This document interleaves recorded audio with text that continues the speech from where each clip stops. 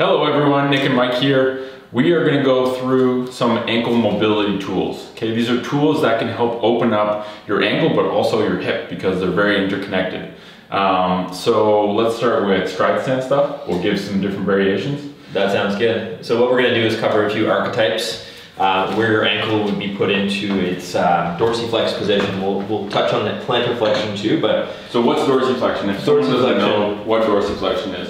That's essentially when the shin starts traveling forward and the ankle goes into this flexed or bent position, whereas plantar flexion is the opposite, where it's kind of going away from us. So that's where we were going to start. Um, and this split stance position or walk stride stance position, it's kind of mimicking, it's an archetype for how we would walk, run, push off. And we're really honing in on this back ankle here in this mobilization.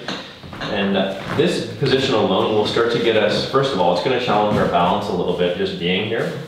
And this is very, um, you know, it's a very human and natural thing to do. And as we're walking, one leg's going out front, one leg's going behind.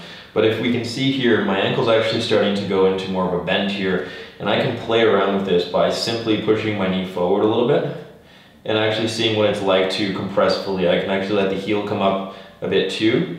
And then I can start to play around with extending my hip actively too as I do this. So squeezing my glute pushing my hip through and you'll see that there's a big coupling there. So a big thing, I mean Mike's got a lot of dorsiflexion so you probably won't have this much but a big thing that he's doing is keeping his midsection tight so that his back's not arching when he does this because when your hip goes forward it'll often really tight here. If that's clamped down you end up arching at your back so really making sure you might not go as far forward but you should be feeling this in the front of your hip and in the back of your ankle and just playing with where the tension is and just kind of sitting in there for a bit.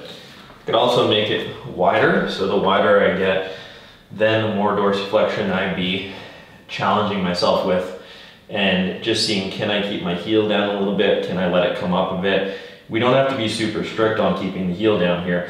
I'm just in this deep lunge or split stance position and I can play around with, again, getting my glute on, sinking into it, letting the heel come up a bit, and, and that's that.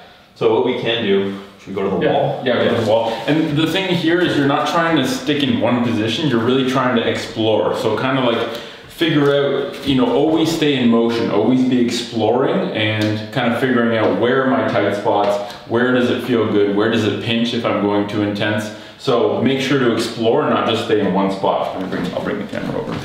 That's good.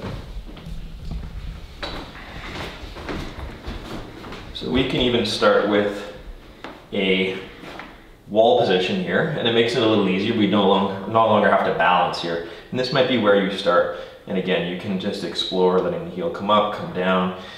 You know, you can make your stance wider and just see how that feels to couple that, that hip extension and that ankle dorsiflexion here.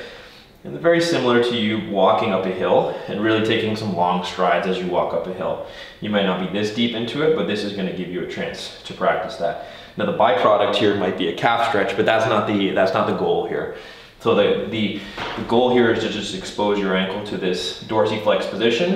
And again, if you get a stretch along the way, great. But that's not what we're doing, it's just holding a stretch. So.